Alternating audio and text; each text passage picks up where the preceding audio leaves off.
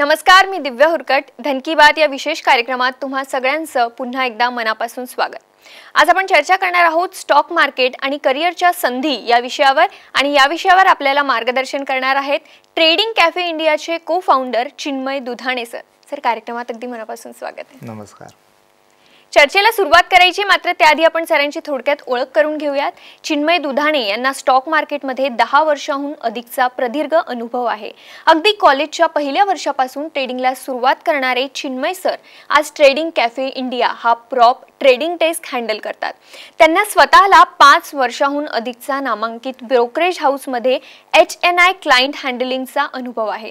त्यामुळे इन्स्टिट्यूशनल लेवलला स्टॉक मार्केटमध्ये खरेदी विक्री कशी होते ह्याचा त्यांना चांगलाच अनुभव आहे. सर एम बी ए असून N I S M certified derivative trader आहेत. तसेच N I S M certified research analyst आहेत. त्यांना एफ अँड ओ मार्केट्सचा आणि अल्गो ट्रेडिंगचा देखील प्रदीर्घ अनुभव आहे. ह्या क्षणी त्यांच्या कंपनीमध्ये वीसहून अधिक डेरिव्हेटिव्ह ट्रेडर्स असून त्यांनी भारतात आणि भारताबाहेर देखील सहा हजारहून अधिक लोकांना स्टॉक मार्केट संबंधी ट्रेन केले आहे. आणि त्यांच्या मार्गदर्शनाखाली अनेक युवकांनी फुल टाईम ट्रेडिंगमध्ये करिअर सुरू केले आहे. आणि आज आपल्याला हेच जाणून घ्यायचं आहे स्टॉक मार्केट आणि करिअरच्या संधीबद्दल. सर पुन्हा एकदा कार्यक्रमात स्वागत आहे.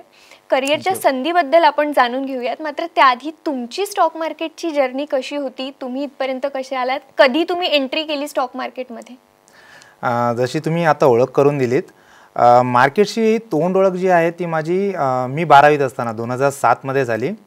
किस्सा असा आहे की कॉलेज संपल्यावर आम्ही मित्रांच्या वडिलांच्या ऑफिसमध्ये जायचो कॉम्प्युटर गेम्स वगैरे खेळण्यासाठी.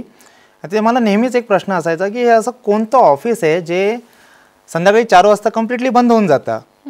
सो नंतर लक्षात आलं की त्याचे वडील सब ब्रोकर आहेत आणि त्यांच्या ऑफिसमध्ये नॉर्मली तीन साडेतीन वाजेपर्यंत ट्रेडिंग ॲक्टिव्हिटी झाले डीलर्स आणि त्यानंतर तिथे येणारे सगळे ट्रेडर्स आपलं काम आटपून निघून जायचं. सो ही तोंड ओळख होती. हळूहळू आकर्षण वाढत गेलं. मी माझं डीमॅट अकाउंट येईपर्यंत वाट बघत होतो की कधी मी अठरा वर्षाचा होतो आणि माझं डीमॅट अकाउंट येईल. सो सुरुवातीला मी पॅरेंट्सकडून काही पैसे घेतले. वडिलांना सांगितले की मला इन्व्हेस्टमेंट करायचे आहेत. सो आधी थोडं नाही नाही बोलत त्यांनी दिले. पण मी डायरेक्टली ट्रेडिंगला सुरुवात केली आणि जे नव्या ट्रेडर्सबरोबर होतं तशीच काही गोष्ट झाली. माझे अकाउंटमधले पैसे पटकन वाईपआउट झाले. अर्थातच त्याला रिझन होतं की माझी त्यात स्टडी नव्हती तशी.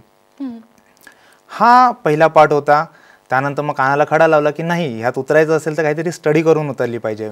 बेसिक ग्रॅज्युएशन कंप्लीट झाल्यावर जॉब स्टार्ट केल्यावर मग मी पुन्हा थोडी इन्व्हेस्टमेंट आणि ट्रेडिंगमध्ये रुची दाखवली. मग त्यावेळेला जी कोणती बुक्स अवेलेबल असतील मग अगदी चर्चगेट फाउंटनला जाऊन तिथे बुक्स घ्यायचे आणि ते रीड करायचे थोडीफार.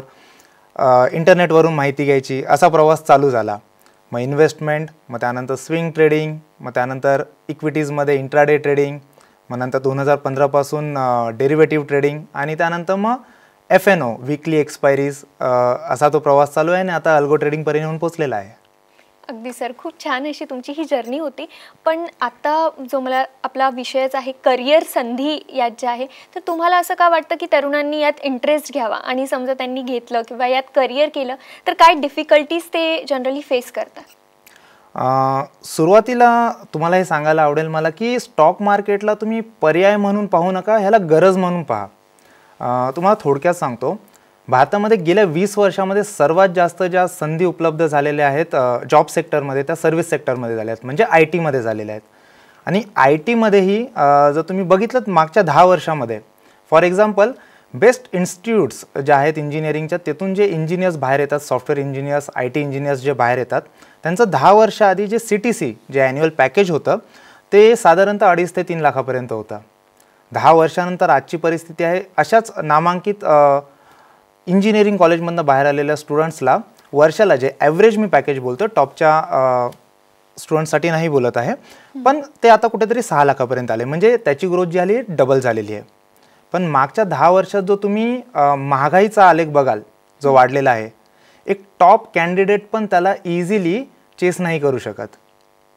अच्छा दुसरी जी गोष्ट आहे की जे आपण नियमित ठेवी असतात बँकमध्ये असतात जो तुम्ही एफ डीज बघाल तर मागच्या दहा वर्षात ते आठ टक्क्यापासून सहा टक्क्यापर्यंत घसरलेले आहेत. राष्ट्रीयकृत बँका ज्या असतात त्यामध्ये जे आपल्याला इंटरेस्ट भेटतात वर्षाला तो सहा टक्क्यापासून चार टक्क्यांपर्यंत आलेला आहे. म्हणजे हा जो काही डिफरन्स आहे तो वाढतच चाललेला आहे. त्यामुळे स्टॉक मार्केटमध्ये आज तुम्ही संधी ज्या आहेत त्या अधिक जास्त पाहिल्या पाहिजेत. जर मी स्टॉक मार्केटमध्ये जर तुम्ही करिअर करायचं म्हणत असाल तुम्ही तिथे जॉब्स पाहत असाल तर मागच्या दोन वर्षात प्रचंड डीमॅट अकाउंट ओपन झालेले आहेत भारतभर.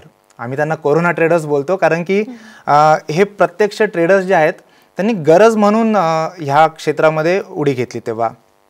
तशी परिस्थितीही निर्माण झाली होती त्यावेळापुरते. पण त्यानंतर जे ब्रोकरेज हाऊसेस आहेत म्युच्युअल फंड्स आहेत इथे करिअरच्या ऑपॉर्च्युनिटीज प्रचंड उपलब्ध होऊ लागलेल्या आहेत.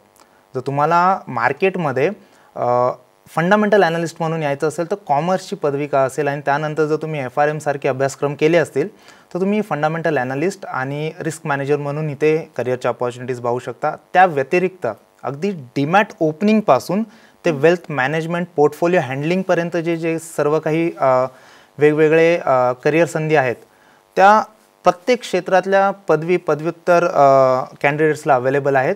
तुम्ही N I S M N C F एमच्या ज्या एक्झाम्स आहेत त्या क्लिअर करू शकता आणि ह्याच्यामध्ये उत्तमोत्तम संधी पाहू शकता. जर अगदी अल्गो ट्रेडिंगचंच म्हणायचं झालं तर ज्यांना पायथन लँग्वेजवर होल्ड आहे कोडिंगमध्ये ज्यांना रस आहे आणि त्यांना स्टॉक मार्केटची माहिती आहे अशा मुलांना आज भारतात सर्वात जास्त सिटीजी किंवा पॅकेजेस अवेलेबल आहेत. सो स्टॉक मार्केटमध्ये उत्तम करिअर आपण बनवू शकतो. आता ह्याचा दुसरा जो पार्ट आहे की स्टॉक मार्केटमध्ये इन्व्हेस्टमेंट आणि ट्रेडिंग करून मी कशा संधी स्वतःसाठी उपलब्ध करून देतो? मग त्यासाठी फक्त तरुणच नाही तर बाल अबालवृद्ध पुरुष स्त्रिया सगळ्यांसाठी स्टॉक मार्केट नेहमीच रेड कार्पेट टाकून तयार असतं. ह्यामध्ये आपल्याला काय करायचं असतं? जर मला ॲक्टिव्ह ट्रेडिंग करायची आहे आणि त्यातून मला जर कन्सिस्टंटली प्रॉफिट्स काढायचे असतील तर इथे आपल्याला काही स्किल सेट जे आहेत ते आत्मसात करायचे आहेत. उदाहरणार्थ आपल्याला आलेख जे असतात ज्याला आपण चार्ट ट्रेडिंग बोलतो त्यांची माहिती चांगल्या पद्धतीने घेतली पाहिजे. अगदी टप्प्याटप्प्यात आपण बेसिक्सपासून तिथे अभ्यास चालू करू शकतो. फंडामेंटल्स समजू शकतो कंपन्यांचे तिथे आपण इन्व्हेस्टमेंट करू शकतो आणि आपला हा प्रवास चालू करू शकतो. मग त्यासाठी सर्वांसाठीच ह्या संधी उपलब्ध आहेत. अगदी सर पण जेव्हा आपण करिअर ऑपॉर्च्युनिटीज म्हणतो किंवा यात करिअर करायचं आहे तर मग असं आहे की टेन्थ नंतर सायन्स चूज करायचं आर्ट की कॉमर्स असे प्रश्न एकदम स्वाभाविक पडतातच.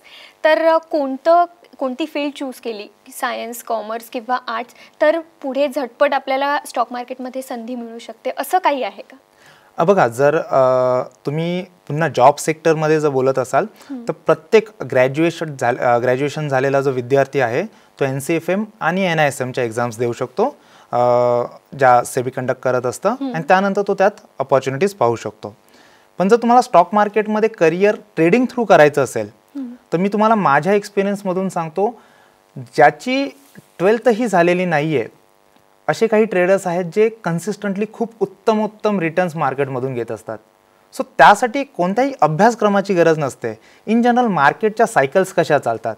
मार्केटमध्ये जेव्हा आपण असतो तेव्हा संधी कुठे आणि कशा उपलब्ध होतात? मार्केट जेव्हा खाली येतं कोणते बेस्ट स्टॉक्स आहेत जे आपण पर्टिक्युलर लेवलला ग्रॅप केले पाहिजेत? हा जो अभ्यास आहे ना तो आपण एक्सपिरियन्स थ्रू घेत असतो. आणि त्या संधी नेहमीच उपलब्ध असतात.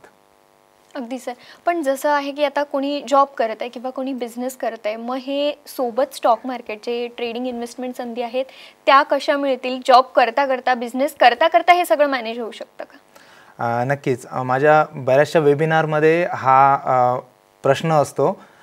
खास करून एम्प्लॉईज आणि जे बिझनेसमन असतात तो हा प्रश्न नेहमीच घेऊन येतात. त्यांच्या मनात ही शंका असते की सर आम्हाला स्क्रीनसाठी एक डेडिकेटेड टाईम नाही मिळत. सो आम्ही स्टॉक मार्केटला कधी आणि कसं ट्रॅक करू शकतो? आणि मग त्यानंतर आम्ही त्यातून रिटर्न्स कसे घेऊ शकतो? प्रत्येक वेळी माझं एक कॉमन आन्सर असतं I am not married with Nifty bank Nifty cash equities ठीक आहे? मी इंट्राडेमध्येच करिअर करेन मी स्विंगमध्येच करिअर करेन मी इन्व्हेस्टमेंटच पाहेन.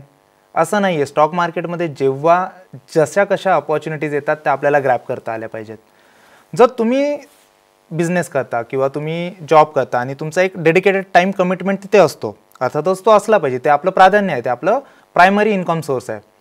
अशा वेळेला आपला होल्डिंग पिरियड जो असतो ट्रेडिंगचा होल्डिंग पिरियड असतो तो आपण वाढवू शकतो. म्हणजे आपण स्विंग ट्रेडिंग करू शकतो. अर्थात स्विंग ट्रेडिंग जी असते ही दोन दिवसापासून ते दोन आठवडे किंवा त्यापेक्षाही जास्त होल्डिंग पिरियड असलेली इन्व्हेस्टमेंट असते ट्रेडिंग असते.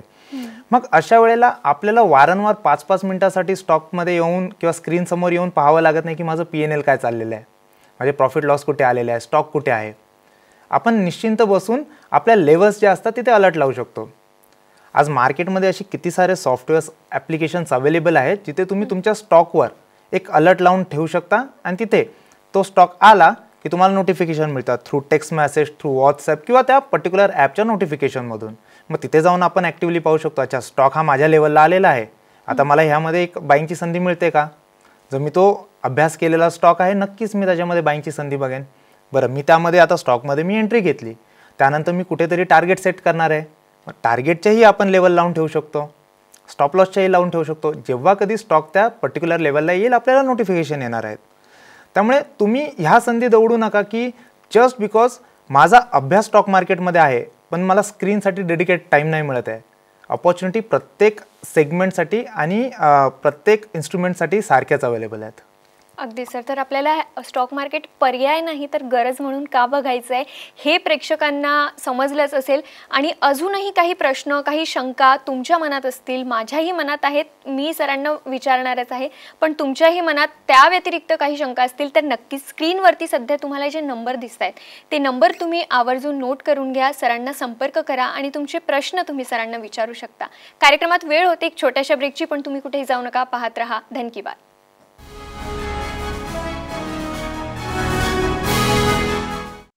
धन की बातमध्ये ब्रेकनंतर तुम्हा सगळ्यांचं पुन्हा एकदा स्वागत. स्टॉक मार्केट आणि करिअरच्या संधी याविषयी आज आपण चर्चा करतोय आणि आपल्याला मार्गदर्शन करतायत चिन्मय दुधाने सर सर पुन्हा एकदा ब्रेकनंतर स्वागत. आपण करिअर संधीबद्दल बोललो तरुणांविषयी बोललो. मात्र ज्या गृहिणी असतात किंवा ज्या महिला ज्यांना सेकंड सोर्स ऑफ इन्कम हवं असतं किंवा ते विचार करत असतात सेकंड सोर्स ऑफ इन्कमबद्दल त्यांच्यासाठी शेअर मार्केटमध्ये काही संधी आहेत का किंवा काही ऑप्शन्स जसं मी तुम्हाला सा आधीही सांगितलं की स्टॉक मार्केटमध्ये सगळ्यांनाच संधी आहेत आणि त्या इक्वल संधी आहेत. जर आपण महिलांचं बोलू किंवा गृहिणींचं बोलू त्यांना सेविंगची एक मूलभूत जे आपण हे बोलू शकतो एक हॅबिट असते. हो. आणि ती कोणीही डिनाय नाही करू शकत ही पुरुषांपेक्षाही अधिक चांगली असते. सो मी तुम्हाला एका छोट्याशा एक्झाम्पलमधून सांगतो की गृहिणी किती उत्तम प्रकारे स्टॉक मार्केटमध्ये करिअर बनवू शकतात. जर तुम्ही यू एस मार्केटमध्ये बघितलं तर एक ट्रेंड आहे. बाय वॉट यू सी म्हणजे तुम्हाला जे प्रोडक्ट समजत आहेत जे दिसत आहेत त्यामध्ये तुम्ही इन्व्हेस्ट करा. जर आता गृहिणींचं बोलायला झालं की ते जे प्रोडक्ट्स डेली वापरत असतात. मग स्कॉच ब्राईट झालं. अगदी हाऊसहोल्ड प्रोडक्ट्स झाले. स्वतःचे प्रसाधनं झाली ज्यामध्ये तुमचे हेल्थ केअर प्रोडक्ट्स आले किंवा मेकअपचे प्रोडक्ट्स आले. बरोबर? तर तुम्हाला माहिती आहे हे प्रोडक्ट्स माझ्यासाठी उत्तम आहेत. आणि चार घरं सोडून सेम प्रोडक्ट्स वापरले जातात. आणि त्याच्या क्वालिटीमुळे ह्या प्रोडक्ट्सची जी निर्मिती आहे ती कंटिन्यू होणार आहे. मग अशा प्रोडक्ट्समध्ये त्यांच्या मॅन्युफॅक्चरिंग कंपनीजमध्ये मी काय इन्व्हेस्ट करू नये जर तुम्हाला माहिती आहे की वर्षोनवर्षी घरांमध्ये पॅराशूट यूज होतं. ठीक आहे? सर तुम्हाला माहिती आहे की पॅराशूटचे प्रोडक्ट्स जे आहेत ते उत्तम आहेत. आणि येणाऱ्या पुढच्या वर्षांमध्येही ते राहणार आहेत. मग मी त्याची जी निर्मिती करणारी कंपनी आहे मारिको तिचा आलेख का नाही पावा? मग तुम्हाला कळेल की मागच्या दहा पंधरा वर्षात मारिको कंपनीच्या शेअरने कशी ग्रोथ केली आहे. सिमिलरली जे हाऊसहोल्ड प्रोडक्ट्स असतात हिंदुस्तान लिव्हर झाला मी स्कॉच बाईट बोललो थ्री एम झाला. हे सगळे स्टॉक आहेत हे मागच्या काही वर्षांमध्ये मल्टीबॅगर झालेले आहेत. म्हणजे कित्येक पट्टीने त्यामध्ये चांगले इन्व्हेस्टमेंटचे रिटर्न आलेले आहेत. सो महिलांसाठी अशा नामांकित कंपन्यांमध्ये चांगल्या संधी आहेत. तुम्हाला जो प्रोडक्ट समजतो त्या प्रोडक्टमध्ये तुम्ही अगदी लहान लहान एस आय पी करणं स्टार्ट करू शकता. आणि मला वाटतं ह्यात जोखीम नाही की ह्यात एक्सपर्ट्स लागत नाहीत. ह्यामध्ये जी तुमची मूलभूत समज आहे एका स्टॉकबद्दल त्या पर्टिक्युलर कंपनीबद्दल आणि तुम्हाला असलेला विश्वास जो आहे तोच त्या कंपनीला वर घेऊन जात असतो. अशा कंपन्यांमध्ये तुम्ही निश्चित इन्व्हेस्टेड राहू शकता. आणि सध्या तुम्ही सीड फंडिंग सुद्धा सुरू केलेली आहे. त्या व्यतिरिक्त तुम्ही स्टुडंट्सना ट्रेडिंग सोडून कॉन्सिस्टंट इन्कम कशी करायची ते देखील सांगता. तर सीड फंडिंग नेमकं काय आहे आणि हे कसं काय शक्य होतं? तुम्ही तरुणांचा जर विचार करत असाल तर आजचा तरुण जो आहे हा प्रचंड आत्मविश्वासाने भारलेला आहे. त्याच्याकडे नवीन नवीन संकल्पना आहेत. इनोव्हेटिव्ह तर आहेतच पण जिज्ञासू आहेत. त्यांना प्रत्येक गोष्टीमध्ये माहिती घ्यायची आहे. त्यांचं वाचनही चांगलं असतं. मग अशा वेळेला काय होतं की मला एक कल्पना सुचली की हां ह्या पर्टिक्युलर सेक्टरमध्ये मला काहीतरी करून दाखवण्याची संधी आहे. आणि इथून पुढे जर तुम्ही फक्त हवेत तुमचे घोडे दौडत असाल तर तुमच्या त्या गोष्टी ऑन पेपर राहतात. पण काही तरुण असतात जे त्याची ब्लूप्रिंट तयार करतात मार्केटमध्ये जाऊन अभ्यास करतात. आणि त्या व्यतिरिक्त त्या पुढेही जाऊन त्या प्रोडक्टची तपासणी करू लागतात की हा प्रोडक्ट मार्केटमध्ये कसा सर्वाईव्ह होईल. अशा स्टेजला आलेले जे युवक असतात त्यांना दोन गोष्टी ज्या असतात त्या प्रकर्षाने त्यांच्याकडे अभाव असतो. ते म्हणजे त्याची प्रोडक्शन कॉस्ट जी असते त्या प्रोडक्टची प्रोडक्शन कॉस्ट जी असते त्यासाठी लागणारा फंड आणि त्याच्या इनिशियल मार्केटिंगसाठी लागणारा फंड सो ह्या ज्या दोन गोष्टी असतात त्याच्यामध्ये आम्ही कुठेतरी त्या एका ब्रिजचं काम करत असतो आणि त्यांना तिथे हेल्प करत असतो. सो जे फायनान्शियल प्रोडक्ट्स आहेत त्यामध्ये ज्या आय टी सर्व्हिसेस देणाऱ्या कंपनीज असतात असे काही इनोव्हेटिव्ह प्रोडक्ट घेऊन जर कोणते स्टुडंट्स पुढे येत असतील तर त्यांच्यासाठी आम्ही नक्कीच एक मदतीचा हात पुढे करत असतो. आणि त्या थ्रू एक सीड फंडिंग म्हणजे आपण जे बोलतो की एक सीड उपजत जाऊन त्यापासून एक मोठं रोपट आहे आणि त्यानंतर एक मोठं वृक्ष होता. तो सुरुवातीला त्याला जे पाणी देण्याचं आणि थोडं केअर करण्याचं जे काम असतं ते ट्रेडिंग कॅफे इंडिया करत असतं. अगदी सर. आणि सर सध्या क्रिप्टोबद्दल खूप चर्चा सुरू आहे. तर ही डिजिटल करन्सीबद्दल तुमचं नेमकं काय मत आहे? बघा जर क्रिप्टोचं म्हणायचं झालं तर वेगवेगळे तज्ज्ञ वेगवेगळी मतं मांडतील. पण माझं स्पष्ट मत तुम्हाला मी सांगतो क्रिप्टोला पर्याय नाही आहे क्रिप्टो करन्सी इथून येणाऱ्या पुढच्या काही वर्षामध्ये खूप चांगली पसरणार आहे. त्याच्यापेक्षाही पुढे जाऊन त्याची रचना ज्याच्यावर झालेली आहे हे आहे blockchain technology so blockchain technology हा विषय प्रचंड व्याप्ती असलेला प्रचंड पुढे जाणारा हा विषय आहे. त्यात नवीन नवीन इनोव्हेशन होत आहेत आणि त्या इनोव्हेशन थ्रू जे ॲप्लिकेशन्स येत आहेत ते प्रत्येकजण आता इथून पुढे वापरणार आहे. अगदी भारत सरकारचं जरी म्हणायचं झालं तरी भारत सरकार पण खूप आशा लावून आहे ब्लॉकचेन टेक्नॉलॉजीबद्दल त्यामुळे क्रिप्टोकरन्सी आणि ब्लॉकचेन टेक्नॉलॉजी ह्या गोष्टी पुढे येणारच आहेत. आणि तुम्हाला जर सांगायचं झालं तर गव्हर्नमेंटचं धोरण तुम्हाला सांगतो. आत्तापर्यंत म्हणजे प्री बजेट सरकारचं म्हणणं असं होतं की जर तुम्ही क्रिप्टो करन्सीमध्ये ट्रेडिंग करत असाल आणि त्याच्या ट्रान्झॅक्शनमध्ये जर तुम्हाला कधी काही डिफॉल्ट्स आले किंवा तुम्हाला वाटलं की तुमच्या वॉलेटमध्ये काहीतरी चोरीचा प्रकार झालेला आहे अशा वेळेला सरकारने हात खेचून घेतला होता की आम्ही त्याची जबाबदारी घेणार नाही. पण क्रिप्टो करन्सीची वाढती व्याप्ती बघून ह्या बजेटमध्ये सरकार असं बोलतंय की क्रिप्टो करन्सीमध्ये जर तुम्हाला काही प्रॉफिट झाला त्याच्यावर तीस टक्के आम्ही टॅक्स लावणार आहे. म्हणजे सरकार कुठे ना कुठेतरी ह्याला आय टीच्या चाट्यात घेऊन यायचं किंवा त्या क्षेत्रात घेऊन यायचं. एक पहिलं पाऊल उचललेलं आहे. ह्याच्या व्यतिरिक्त लोकांना हे माहिती नाही आहे की इथून पुढे जर क्रिप्टो करन्सीमध्ये तुम्ही ट्रेडिंग करणार असाल तर त्या ट्रान्झॅक्शन्सवर एक पर्सेंट टी डी एस लागणार आहे. म्हणजे याचा अर्थ असा आहे की तुम्ही क्रिप्टो करन्सीमध्ये बिटकॉईन झालं इथेरियम झालं याच्यामध्ये जर तुम्ही ट्रेडिंग करणार असाल तर वर्षाच्या शेवटी तुम्ही काही टी डी एस पे केलेला असणार आहे. त्यामुळे जेव्हा तुम्ही प्रॉफिट्स घेता किंवा त्याच्यावर लॉस झालेले असतात. त्यावेळेस तुम्ही टी डी एस जो असतो तो आपण at the time of return हा आपल्याला पुन्हा रिबेट मिळत असतो. पण त्यासाठी मग आपल्याला आपल्या आय टीमध्ये आपल्या इन्कम टॅक्स रिटर्नमध्ये त्याची नोंद करावी लागणार आहे. म्हणजे सरकार त्यालाही आय टीच्या कक्षेत घेऊन यायचं त्यांचा असा हा प्रयत्न चालू आहे. म्हणजे आपण हे असं बोलू शकतो की साप भी मर जाए और लाठी भी ना तुटे. जे क्रिप्टो करन्सीला मला अशी मान्यता द्यायची नाहीये पण त्याच्यावर येणाऱ्या उत्पन्नावर आम्हाला नक्कीच काही कर लावायचे आहेत.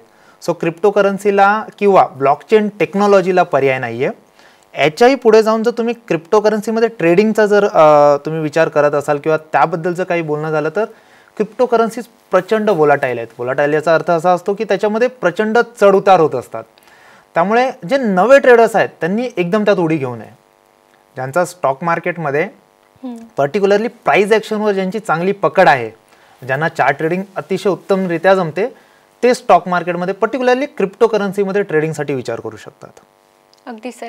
सर हे सगळं आपलं बोलणं झालं करिअर ऑपॉर्च्युनिटीज सगळं तुम्ही सांगितलं पण खूप वेळेपासून प्र प्रेक्षकांच्याही मनात हा प्रश्न असेल की नेमकं या संबंधितचे जे क्लासेस आहेत कोर्सेस आहेत ट्रेडिंग असो इन्व्हेस्टमेंट असो ते तुम्ही जे कोर्सेस घेतात त्याबद्दलची थोडक्यात माहिती द्या. काय काय कोर्सेस यात असतात आणि कसे ते करू शकतो? जर तुम्हाला मी अभ्यासक्रमाचं बोलायचं झालं तर मी तुम्हाला सांगतो माझ्या प्रत्यक्ष ज्या अनुभवातून आलेल्या गोष्टी अशा आहेत की स्टॉक मार्केटबद्दल बरेचसे गैरसमज असतात. लोकांना असं वाटतं की स्टॉक मार्केट हा गॅम्बलिंगचा प्रकार आहे. जर मी अनुमान लावतोय आणि अनुमानानुसार गोष्टी जात नाही आहेत तर नक्कीच तिथे कोणीतरी आहे जो मार्केट ऑपरेट करतोय. इथे तुम्हाला समजलं पाहिजे की मार्केट जे दाखवतंय त्याच्यावर आपल्याला ट्रेड करायचं ना की आपल्याला काय वाटतं त्या हिशोबाने ट्रेड करायचं आहे हे झालं ट्रेडिंग पार्ट सो अशाच काही चुका आहेत त्या मीही माझ्या इनिशियल डेजला केल्या. त्यामुळे आजचा तरुण जेव्हा स्टॉक मार्केटमध्ये उतरतो तेव्हा आमचं असं उद्देश असतं की तुम्ही त्या चुका करू नये. अर्थात तिथे तुम्हाला दोन गोष्टी वाचवायच्या आहेत. तुमचा स्वतःचा वेळही वाचवायचा असतो आणि पैसाही. कारण की वेळ आणि पैसा हे दोन्ही गोष्टी गेल्यावर आपल्या कॉन्फिडन्समध्ये जे खच्चीकरण होतं ते आपल्याला कुठेतरी थांबवायचं आहे. त्यासाठी आम्ही जे कोर्सेस असतो ते खूप प्रॅक्टिकल अप्रोचमध्ये घेऊन जातो.